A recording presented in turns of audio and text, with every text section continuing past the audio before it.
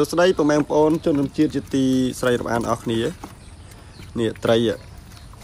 ខាងនេះគឺ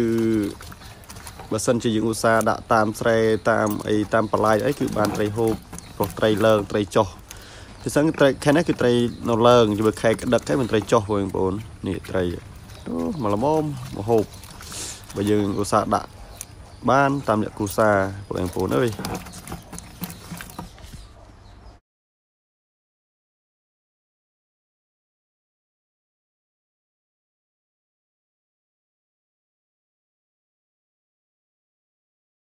快捷的路口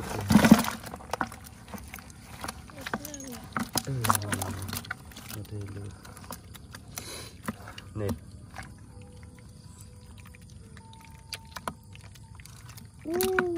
等。会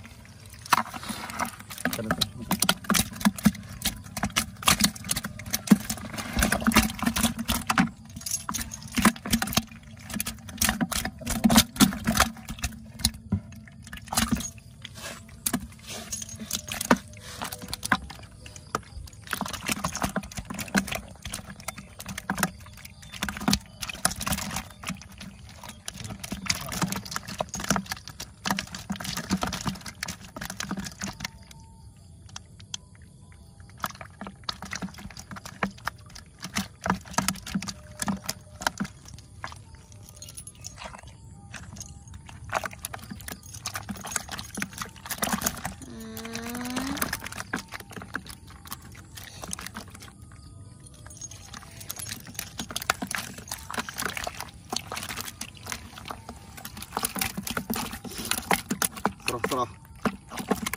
អាំងក្បាលនំពងក៏បានដែរបងប្អូនអើយចុះ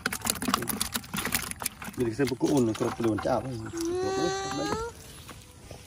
មិនលូតអត់